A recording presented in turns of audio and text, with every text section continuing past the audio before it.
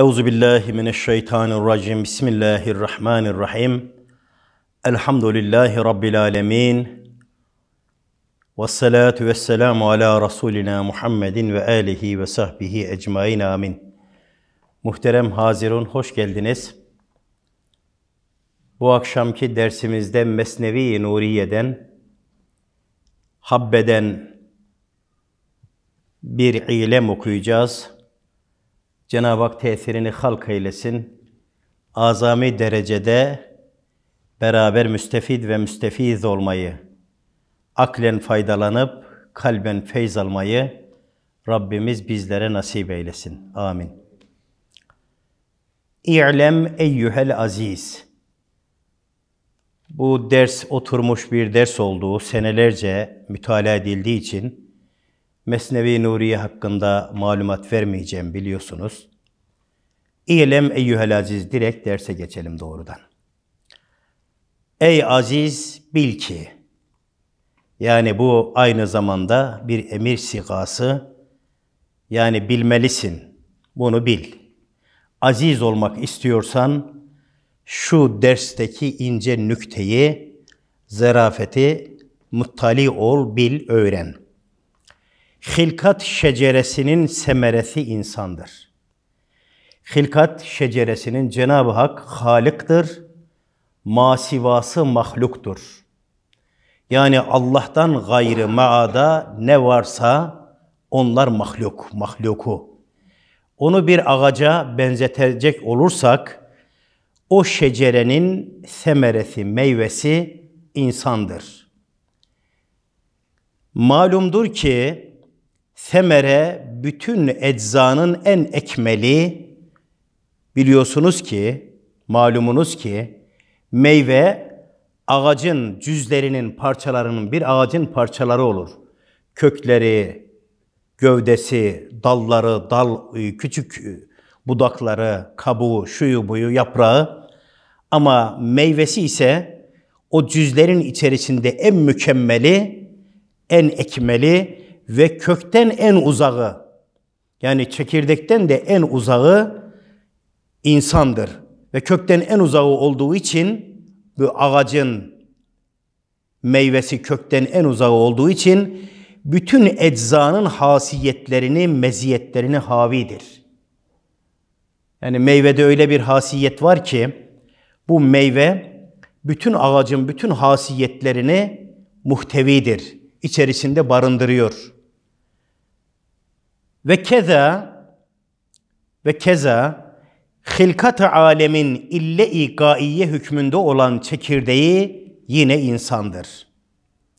Yani bu hal, e, Halık-ı kainat bu mahlukatı, masivayı ve mevcudatı var olan bütün her şeyi bir gaye üzerine yarattı ki levlel insan lema halektul ekvan denilebilir ve denilmiş de.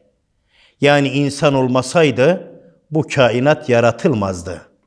İlle-i gaiyesi yani gai illeti fıkıh usulünde birçok gaye var, illet var. Bunların sadece birisi ille-i gai, ille-i ızdırari, ileli tamme, işte kasır illet, ille-i kasır, ondan sonra ille-i müstembat, ille-i müteaddi gibi çok illetler var. Burada nazara vermek istediği yani bu kainat bir sebepten dolayı yaratılmış olsaydı ki öyle bir sebep var. Bizim ehli sünnet vel cemaatin mezhebinde, itikadında Cenab-ı Hakk'ın fiilleri talil edilebilir. Yani Cenab-ı Hakk'ın fiilleri mualleldir. Bir sebebe binaen Cenab-ı Hak ne yapar? Bir iş yapar, bir fiil yapar. Bazı alimler demişler ki Cenab-ı Hak yef'alullahu ma yeşâ ve yahkumu ma yurid. İstediğini istediği şekilde ister, istediğini istediği gibi de yapar. Cenab-ı Hakk'ın bir gayesi olamaz. Ama ehli sünnet adına İmam Eş'ari, Ebul Hasan el-Eş'ari radıyallahu an bizim itikadi çizgimize son noktayı koyuyor. Buyuruyor ki Cenab-ı Hakk'ın fiilleri bir gayeye müstenittir. istinad eder. O gaye yani Allah o şeyi istihdaf etti, hedef etti, o gayeyle bir iş yaptı. Mecbur olduğundan değil, kulunun menfaati içindir. Yani kul o fiilden bir menfaat göreceğinden dolayı Cenab-ı Hak o kulun menfaatini istihdaf eder, hedefe alır, gaye yapar, ona göre ne yapar? O fiili yaratır. Yani Cenab-ı Hakk'ın da fiillerinin biz bazılarını biliyoruz, bazı emirlerinin hikmetlerini bilemiyoruz. Orucu emretmesinin bir hikmeti, bir illeti. Ondan sonra zekatı emretmesinin bir hikmeti var. Bu Cenab-ı Hakk'ın emri. Yani namazınızı kılın, zekatınızı verin. Bizim namazımızı kılmamızda Cenab-ı Hakk'a hiçbir fayda iras olmuyor. Hiçbir fayda tereddüt etmiyor. Zatı samettir, ganiyun anil alemindir. Hiçbir şeye muhtaç değil ama aynı Cenab-ı Hak değerli Hazirun o zekatı verdiğimizde bizim cemiyetimiz Ez zekatu kantaratul İslam zekat İslam cemiyetinin köprüsüdür. Fakir ile zenginin arasındaki muaşeret ve muavenet köprüsünü kurar. Ve namaz kıldığımızda da namaz da dinimizin direğidir. Kişi onunla dinini ikame eder. Yıktığı zaman dinini yıkmış olur.'' Yani bizim hem ferdi hem cemaati hem cemiyete dair selametimiz için Allah emreder. Yoksa Allah o emirde veya o nehide veya o fiilde kendisinin haşa bir menfaati olacağı için değil. İşte ve keza işte bunun gibi hilkat alemin bu alemin yaratılmasının ille-i gaiyesi hükmünde olan çekirdeği yine insandır. Yani bu alemin bir çekirdeği var. Şimdi yavaş yavaş ona doğru geliyor üstadımız.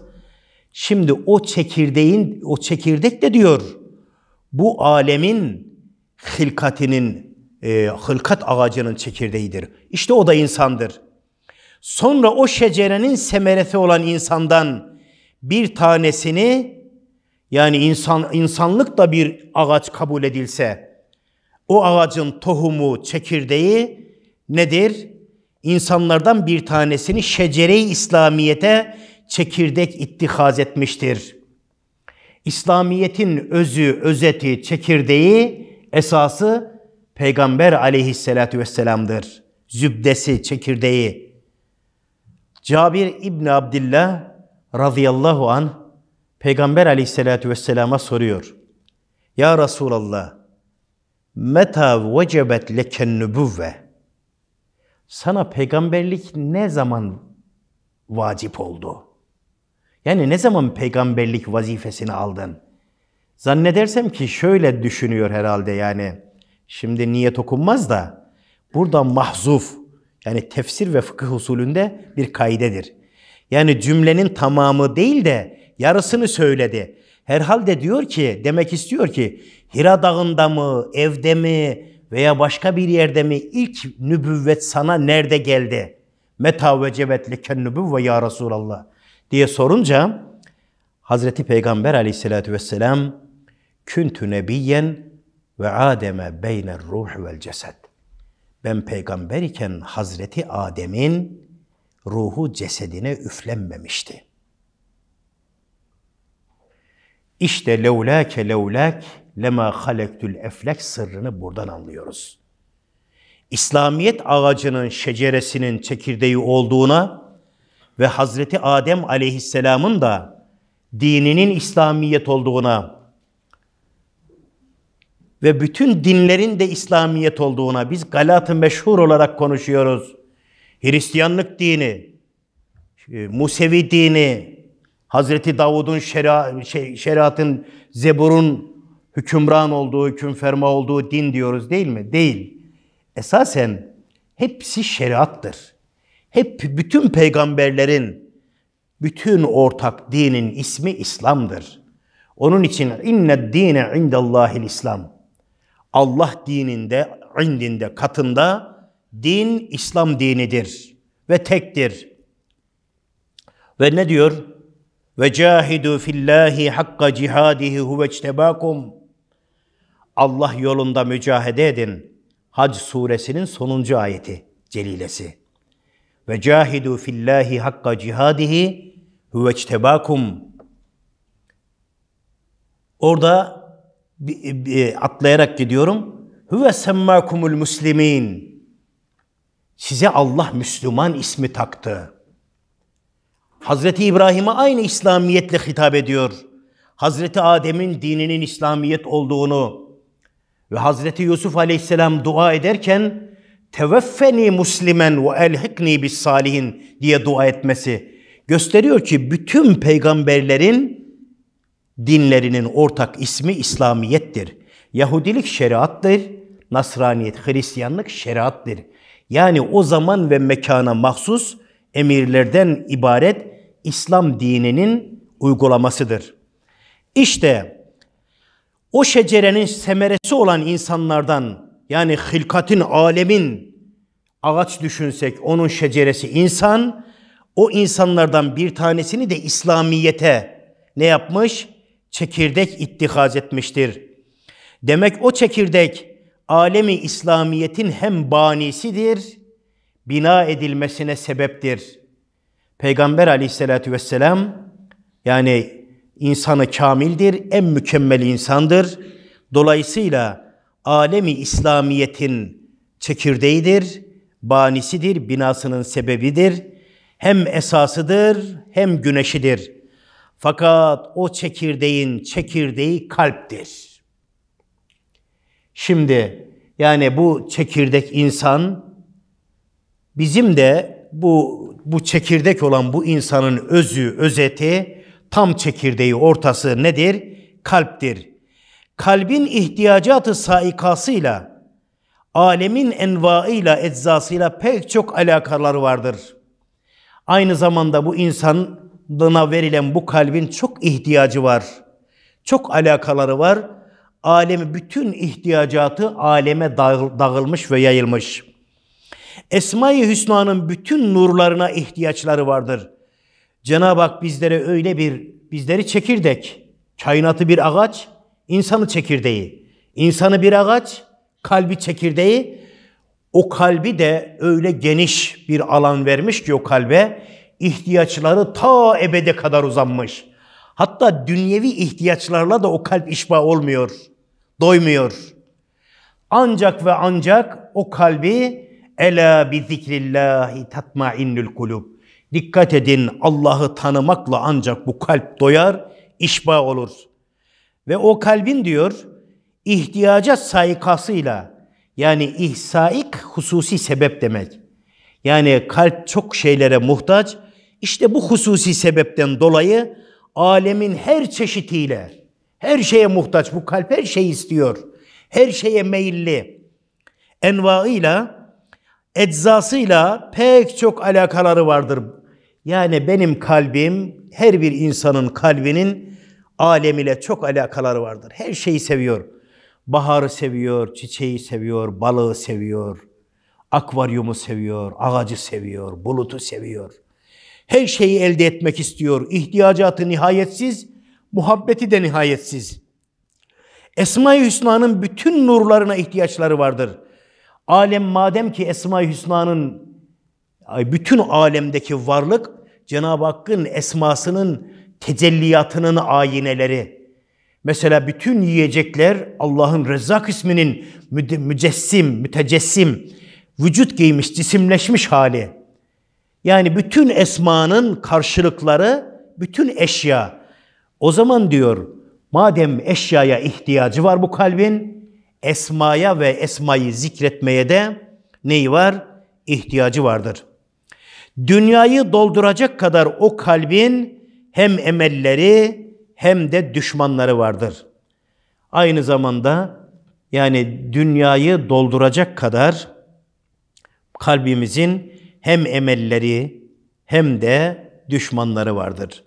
Ancak ganiyi mutlak ve hafizi hakiki ile itmi'nan edebilir. Yani bu kalp ancak Cenab-ı Hakk'ın muhabbetiyle ganiye mutlak, mutlak zengin olan ve ganiyun anil alemin, alemde hiçbir şeye muhtaç olmayan Cenab-ı Hak ile ne yapabilir? Bu kalp doyabilir. Çünkü ihtiyacı ebedi o zaman ancak onu ebedi bir şey istihab edebilir, doyurabilir. Bu sebeple hadisi kutsiyenin diyor bir manasını Mevlana Farisi olarak şöyle söylemiş. Men ne küncem der semavatu zemin, ez acep güncem be kalbe müminin.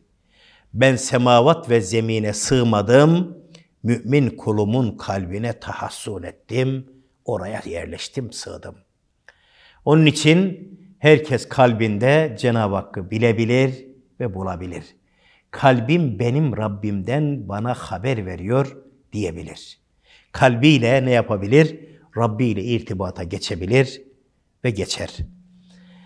Ve keza o kalbin öyle bir kabiliyeti vardır ki bir harita veya bir fihriste gibi bütün alemi temsil eder ve vahid-i ehadden başka merkezinde bir şeyi kabul etmiyor. Cenab-ı Hak'tan maada hiçbir şeye razı olmuyor, merkezinde hiçbir şeyi kabul etmiyor. Ebedi sermedi bir bekadan maada bir şeye razı olmuyor. Çünkü kalbimiz değerli genç kardeşlerim, Cenab-ı Hak öyle bir kalp bize verdi ki ebediyetten başka onu bir şey doyuramıyor. Neye elini atsa onun ebedi olmasını, onun sürekli devamlı olmasını istiyor. İşte buradan da biz anlıyoruz ki bu kalp ve kalbin sahibi ebede namzettir, ebed yolcusudur. Bu alem fani, amalimizi ve emelimizi, emelin çokluğu ameli azaltır diyor büyükler. Ne yapacağız? Ebedi aleme göre tanzim edeceğiz. Ebedi sermedi bir bekadan maada bir şeye razı olmuyor. İnsanın çekirdeği olan kalp, ubudiyet ve ihlas altında İslamiyet ile iska edilmekle, imanla intibaha gelirse, şimdi insanın çekirdeği olan bu kalp, elimizde bir çekirdeğimiz var. Bu çekirdeği ne yapacağız? Toprağa gömeceğiz, bunu sulandıracağız, su dökeceğiz ve güneş bir ışık da buna gelecek, güneş de gelecek. Havayla birlikte dört tane elementle, dört maddeyle, unsurla bunu ağaç etmeye çalışacağız. Aynen öyle de kalbimizde bir çekirdek var. Ebediyet ağacı yetiştirmek istiyoruz. Onun da yolu bu. Bu aynı zamanda bir hadisi şerifin mealidir ha. Evet. İnsanın çekirdeği olan kalp ubudiyet ve ihlas altında. Yani ubudiyet nedir? Ubudiyet kölelik. Yani direkt mesela zarf kelimesini yazıyorsunuz. iki nokta üst üste. Bir şeyin içine alan ve üstünü örten, onu kaplayan şeye zarf denir. Sadece mektup zarfı değil. Ha. Ubudiyet yazın iki nokta üst üste eşittir kölelik. Kölelik. Şimdi nereden bunu anlıyoruz? Bunu şuradan anlıyoruz. Tabii şey ıstılahi olarak kulluk diyorlar. Geleceğim. Şimdi Peygamber aleyhissalatü vesselam 25 yaşındayken Hazreti Hatice validemizle evleniyor değil mi? Evleniyor. Evlenince Hazreti Hatice validemizin yanında satın almış olduğu 10 yaşında bir köle var. Kim? Zeyd bin Haris radıyallahu an. Bu köleyi madem evli, Hazreti Ayşe valide, Hatice validemiz zengin bir iş kadını. Diyor ki bu köleyi sana hediye ettim. Ya ister bağışla, ister hürriyetini ver, ister yanında beklet. Peygamber aleyhissalatü vesselamın yanında herhalde birkaç ay kalmış ki bunun babası ve amcası duymuşlar ki evladımız Mekke'de Muhammed bin Abdullah isminde bir delikanlının kölesi. Orada kalıyor. Geliyorlar Efendimizin yanına. Diyorlar tabii ki 25 yaşında arkadaşlar. Daha peygamber değil, delikanlı. Ama Rabbimiz onu hazırlıyor. Bakın. Geliyorlar Efendimizin yanına. Diyorlar ki Muhammed bin Abdul Abdullah bin Abdülmuttalip siz misiniz? Evet benim. Bizim senin yanında bir emanetimiz var. Onu satın almaya geldik. Kim? Zeyd. Çağırın Zeyd'i diyor. Zeyd geliyor. Diyor ki bunları tanıyor musun? Diyor ki Ta tanıyorum diyor. O babam bu da amcam diyor. İkisi gelmişler almaya. Diyor ki bu çocuğa sorun. Eğer sizi tercih ederse alın götürün. Para istemiyorum. Eğer beni tercih ederse ben beni tercih edene kimseyi tercih etmem diyor. Çocuğa soruyorlar diyorlar ki ya Zeyd soruyoruz. Onları mı tercih ediyorsun beni mi? Bakın bu peygamber daha olmamış değerli abilerim. 10 yaşındaki bir çocuğa sorsanız babası en kahramandır. Babası herkesi döver. Babası herkesten güçlüdür. Babasını dünyaya değişmez. Hele biraz büyüse değil, büyük olsa o zaman işler değişirdi. 10 yaşındaki çocuğun babası dünyada bir tanedir. Ama o Zeyd, Peygamber aleyhissalatü vesselamın ayağına yapışarak ya, ya Muhammed ben seni tercih ediyorum. O zaman bütün siyer kitaplarında inhirafsız ve e, şaşmaz bir şekilde aynen babası Zeyd'e şöyle diyor. Veyheke ya Zeyd. Yazıklar olsun sana ey Zeyd. Etahtarel ubudiyete alel hurriye ve ebike ve ümmik ve ammike ve ala ehlik. Sana yazıklar olsun ey Zeyd. Köleliği hürriyete tercih ettin. Sen ne biçim insansın ya? Köleliği hürriyete tercih ettin. Annene tercih ettin, babana, ailene ve bütün akrabana köleliği tercih ettin diyor. O zaman Zeyd diyor ki, ey babacığım, vallahi ben bu zatta öyle hasiyetler gördüm ki, onu değil size kainata değişmem. Bakınız, o köleliği yani ubudiyeti, yani kulluğu, kölelik derken kula değil, Allah'a olan kulluğu tercih eder, ederek ne yaptı? Ashabi kennucum, ashabım yıldızlar gibidir. Bi eyyihim ikdedeytüm ihdedeytüm. Hangisini tercih ederseniz mutlaka hidayete erersiniz. Yani sultanlığın, starlığın, star olmanın. Yıldız, necim yıldız demek. Bugün piyasada yıldız diye pop poflanıyor değil mi? Piyasanın en rezilleri star diye pop poflanıyor. Ama esas starlar kim? Ashabi ken nücum. Benim arkadaşlarım, ashab arkadaş demek. Benim arkadaşlarım yıldızlar gibidir. Hangisine uyarsanız hiç şüphesiz hidayete erersiniz. İşte Hazreti Zeyd de ubudiyeti, Allah'a kulluğu, yani ibadeti. İbadet de Allah'ın önünde kemerbeste olmak demek. Yani Cenab-ı Hak her ne emrettiyse onu yapmaya ubudiyet diyoruz. Ubudiyet mesela ve'bud rabbeke hatta ye'tiyekel yakin. Allah sana yakini nasip edene kadar ölüm yani hakikati görene kadar yakin de hakikati görmek demek. Demek ki biz ölünce hakikati göreceğiz. Bu sebeple İmam Ali radıyallahu an en nasu niyamun izâ mâte intebehu. İnsanlar uykudadır, ölünce uyanırlar buyuruyor. Demek ki bu sebeple demek bu ayeti celileden hareket ederek demiş. İşte ölene kadar ibadet etmeye ubudiyet diyoruz. İşte bu bize verilen çekirdeği değerli kardeşlerim ne yapacağız? Olan kalbimizi ubudiyet ve ihlas altında İslamiyet ile iska etmekle ubudiyet toprağı altında toprağına gömeceğiz kulluğa. Yani Cenab-ı Hak ne derse onu yapacağız. Allah'ın emrettiği şey de ibadettir. Nehyettiği şey yapmamak da ibadettir. Hatta harama bilerek gitmemek vaciptir. Vacip işlemek sevabı var. Ya. İhlas altında ha bir şart var o da ihlas. Heleken nasu illel alimun ve helekel alimune illel amilun ve helekel amilune illel muhlisun vel muhlisun ala hatarin azim. Yani insanlar helak olur, sadece bilenler kurtulur. Bilenler de helak olur.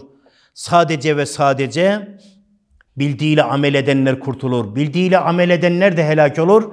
Sadece ve sadece bildiği amelleri, yaptığı ameli Allah rızası için ihlas ile yapanlar kurtulur buyuruyor aleyhissalatü vesselam. Demek ki yapılan şey Allah'ın emrini dinleyeceğiz Ama bu bir menfaate müsteniden değil. Yani hani Medine'yi müdafaa eden bir, bir kişi ne yapıyordu? Öldüğü zaman Peygamber aleyhissalatü vesselamın onun akıbetinin iyi olmadığını, sahabe ise ona mütehayyir kaldığını, şaşırdığını, hayretlere düştüğünü ve ölürken ben İslam davası için değil, Medine'deki hurmalıklarım için savaştım diyor. Onun için yapılan ibadetin özü esası ihlastır. İhlas ise yapılan şeyin sırf Allah emretti diye yapılmasıdır. İhlas altında İslamiyet ile iska edilmekle, İslamiyet suyuyla sulanırsa, imanla intibaha gelirse, imanla uyanırsa, nurani misali alemi emirden gelen emr ile, Cenab-ı Hakk'ın emriyle ne olur? Emriyle böyle öyle bir şecere-i nurani olarak yeşillenir ki onun cis onun cismani alemine ruh olur. Demek ki bizim burada yedik, yedi, yerken dediğimiz besmeleler, bir işi yaparken yaptığımız niyetler, değerli ağabeylerim, bir ruh şeklinde ileride tecessüt ve tecessüm edecek. Cesetlenecek ve cisimlenecek. Biz onları yiyeceğiz. Yani burada elhamdülillah diyeceğiz. O bir ruh gibi ceset giyecek ahirette. Onun için ebedi bir cennet ne olacak? Bize Cenab-ı Hak vaat ediyor. Yoksa bu dünyada iki buçuk sene toplam ibadet yapıyoruz. Bir adam 15 yaşında ibadete başlasa, 90 yaşında vefat etse kaç sene yapıyor? 15, 90'dan çık 75. Günde 24 saat ibadet, 24'ten biri bir saat ibadet. O da toplam 70, 25'te bir, 3 sene yapıyor. Yani bir adam ömür boyu namaz kılsa toplam üç sene ibadet yapmış oluyor. İki buçuk, üç sene. Demek ki yani bizim, biz cenneti niyetimizle, ihlasımızla inşallah kazanacağız. Gelen emir ile öyle bir şecere-i nurani olarak yeşillenir ki onun cismani alemine ruh olur. Eğer o kalp çekirdeği böyle bir terbiye görmezse kuru bir çekirdek ol kalarak nurani nura inkılap edinceye kadar ateş ile yanması lazımdır. Yoksa diyor çekirdek mesela eğer çürürse, eğer işe yaramazsa ne yapar? Bunu köylüler çok iyi bilir. Ben fidandan misal vereyim. Böyle ağaç dikerdik fidan. Böyle iki metre boyunda ağaç fidanları. O yeşillenmeyenlere bakar, güze kadar baktık ki sonbahara kadar imbat etmedi yani yeşermedi. Onu söker atar götürür sobada yakardık. Yani çekirdek de öyle. Yoksa diyor nura inkılap edinceye kadar yanması lazımdır. Ve keza o habbeyi kalp için pek çok hizmetçi vardır ki o hadimler kalbin hayatıyla hayatları hayat bulup imbisat ederlerse yani genişlerlerse İleride bir yerde diyor ki İmam Ali radıyallahu an yarısını alıyor. Beytin tamamı şöyle. Devauke fike ve dauke minke ve la tubsir. Hastalık senden kaynaklanıyor ama sen görmüyorsun. Ve dauke minke ve la tubsir. Devauke fike ve la teş'ur. Çare de sende ama bilmiyorsun. İmam Ali diyor. Hastalık yani hastalığın kaynağı da ben, hastalığın çaresi de ben. Ve tez'umu enneke cirmun sagirun. Sen kendini sen vücut olarak çok küçük bir şey zannediyorsun ama ve fike inte ve alemül ekber. Allah sana, sana diyor koskoca alemi dürüp senin kalbine yerleştirdi. İnsanın kalbi böyle geniş. Ve diyor vardır ki o hadimler kalbin hayatıyla hayat bulup imbisat ederlerse kocaman kainat onlara tenezzüh ve seyrangah olur. Tefekkür ile ne yapar? Bütün kainatı seyran eder insan kalbiyle. Ama şeriatı garra-i Muhammedi'de yani Peygamberim Aleyhisselatü Vesselam'ın vaaz ettiği bu parlak, şerefli şeriatta haramlar var, helaller var. Her bir ağza için bir hudut var. Tilke hududullah. Bu, bu çok geçer ayetlerde. Bunlar Allah'ın hudutlarıdır. Ve men yeteadde hududullah. Kim Allah'ın hududundan tecavüz ederse işte onlar zalimlerdir. Onlar ilahir. Böyle ayetler var birkaç yerde. Şimdi gözün bakması helal olan, haram olan şeyler var. Kulağın duymasında helal olan haram olan sesler var değil mi? Elin tutmasında helal olan cisimler var, haram olan cisimler. Yani bütün azaların helal azalarla yapılan fiillerin helal kısmı var, haram kısmı var değil mi? Göz e, kalp de aza değil mi? Tefekkürde bir fiil değil mi? Onun helali ve haramı var mı? Evet var. Fe bi ayyi ala'i rabbikuma tukezziban. Sizin, Rabbinizin size verdiği ala nimet demek. Nimetlerin hangisini yalanlıyorsunuz diye ne yapıyor? Ha, onu şey yap. Rabbinizin verdiği nimetlerin hangisini yalanlıyorsunuz diye ihtar ediyor. İşte Peygamber aleyhissalatü vesselam da buyuruyor ki tefekkeru fi ala illa. Allah'ın nimetlerini tefekkür edin. Ve la tefekkeru fi zatihi. Sakın Allah'ın zatını tefekkür etmeye kalkmayın. Fe innekum len takdiru. Siz Allah'ı tefekkür edemezsiniz. Yani Allah'ın zatı ve zatının mahiyeti tefekkür edilemez.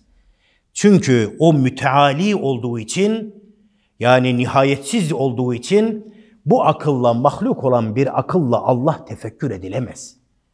Çünkü aklımız mahluktur. Mahluk bir e, alet, bir ağza Allah'ı tefekkür edemez. Etse Allah ne olur?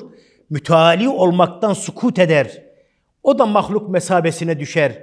Yani basitleşir. Yani Allah sonradan tesbih edilemez.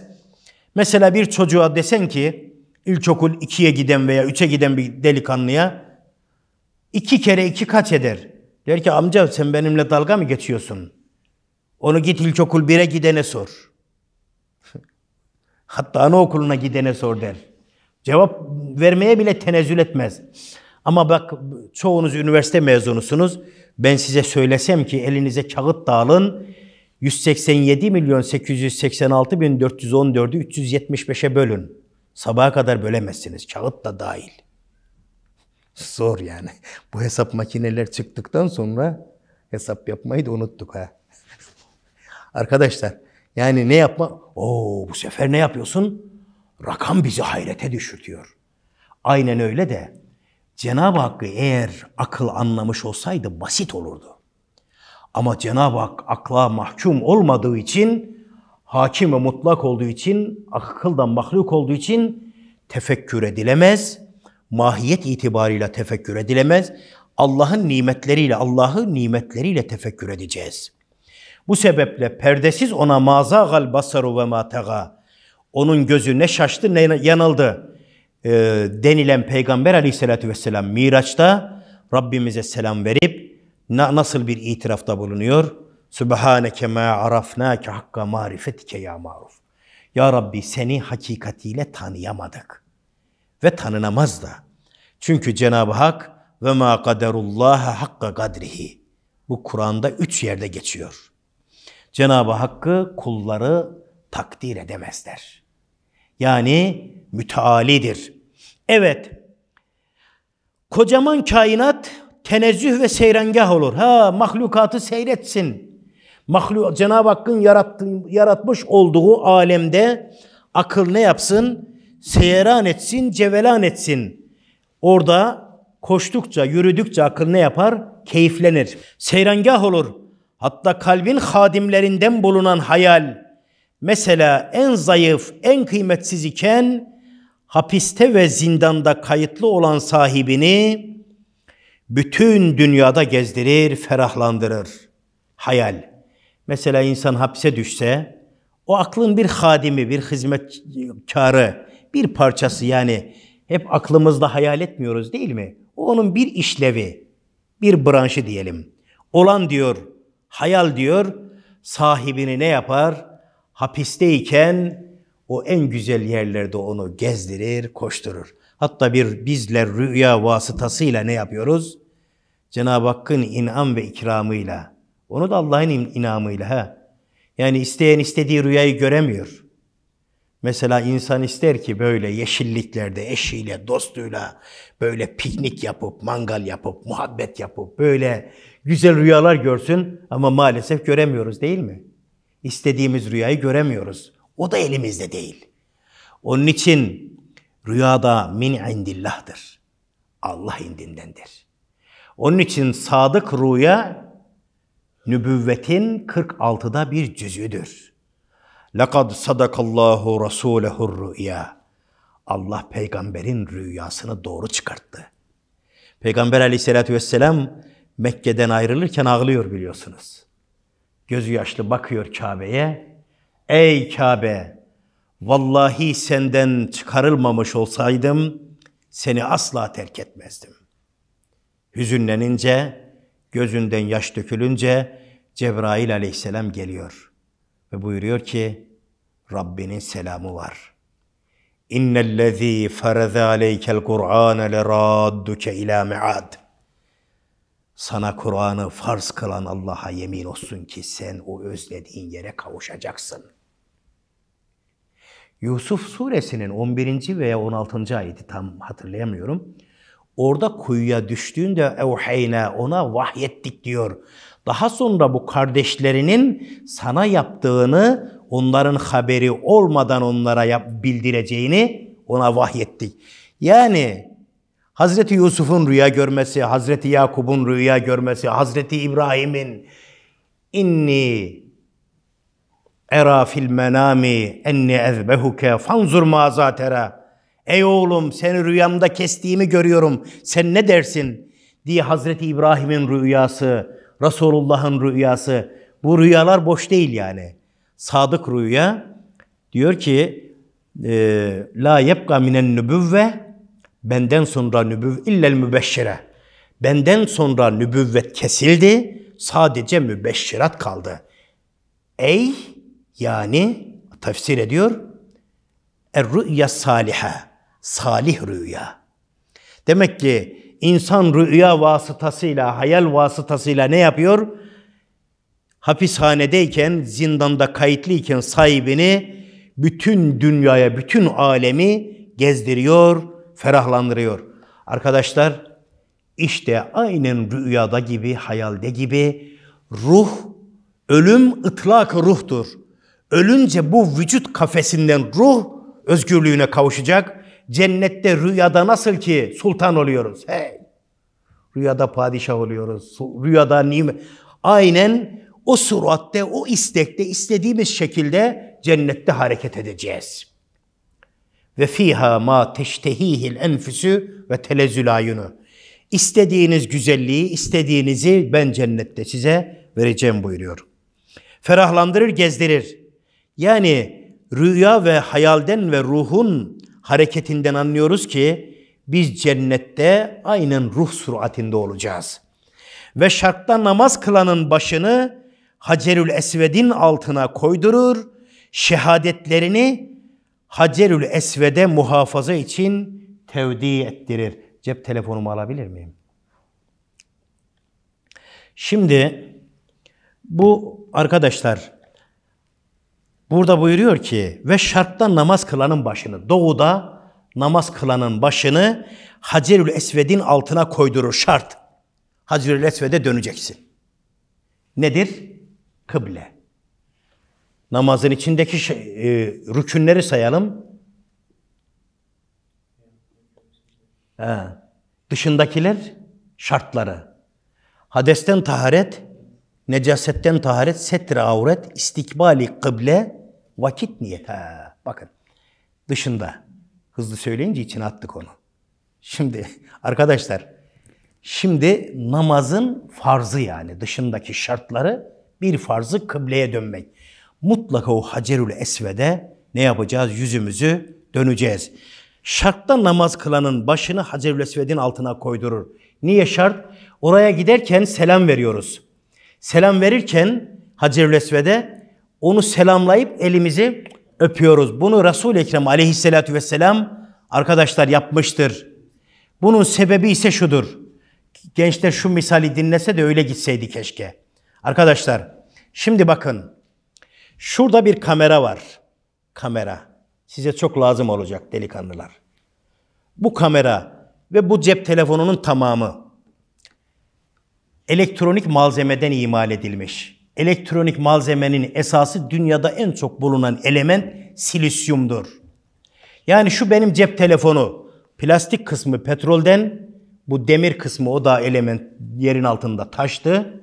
Bu elektronik aksamının tamamı da silisyum. Yani diyotlar, entegreler şunlar bunları. Tamamen yer altındaydı bu. Bu taştı. Şimdi bunun önünden bir saniyede geçen kimseyi ne yapıyor? Çekiyor, kaydı altına alıyor. Hiç şüpheniz var mı? Şunun önünden geçtiğinizde resminiz çekiliyor. Bunu kul yaptı. Resul-i Ekrem Aleyhisselatü Vesselam buyuruyor ki şu Hacerül Esved'in önünden geçtiğinizde bu sizi fotoğraflıyor. Fotoğraflarımız alınıyor arkadaşlar. Onun için her asırda Kur'an'ın ayrı bir veçi ne yapılıyor? Tefsir ediliyor. Bilimsel tefsirler var. Bakınız şu cep telefonunun ve kameraların, elektroniğin icat edilmesi neyi gösteriyor?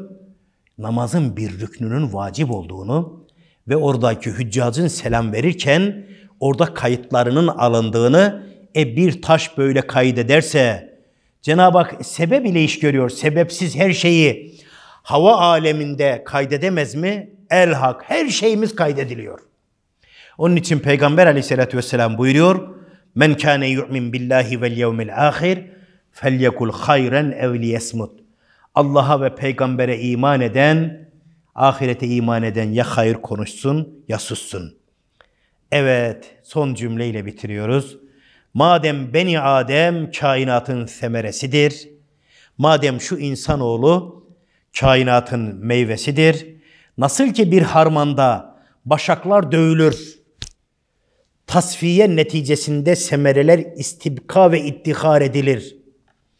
Yani harmanda başaklar ne yapılır? Buğday samandan ayrılır, o, har, o dövülür.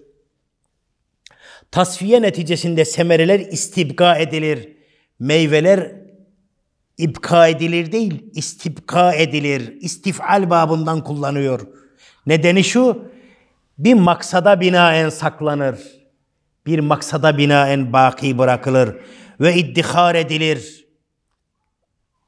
Toplanır. Binaenaleyh haşir meydanı da bir harmandır. Kainatın başak ve semeresi olan Beni Adem'i intizar etmektedir.'' Demek ki haşir meydanı bizi bekliyor. Onun için ne yapacağız? Bütün amellerimiz, her şeyimiz kayıt altına alınıyor. Bugün Google'ın, Google Earth'ın yani bu canlı kameraları var. Burada ne yapıyoruz? Biliyoruz ki her sokağımızı bu navigasyonlarla görüyorlar, gözetliyorlar.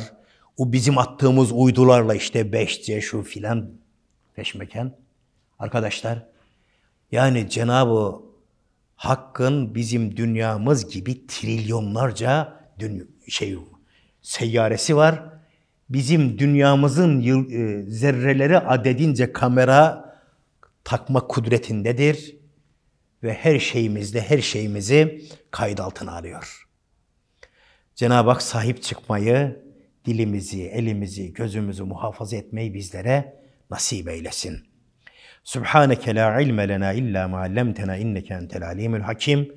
وآخر دعواهم أن الحمد لله رب العالمين. رزاء عند الله تعالى الفاتحة مع الصلاة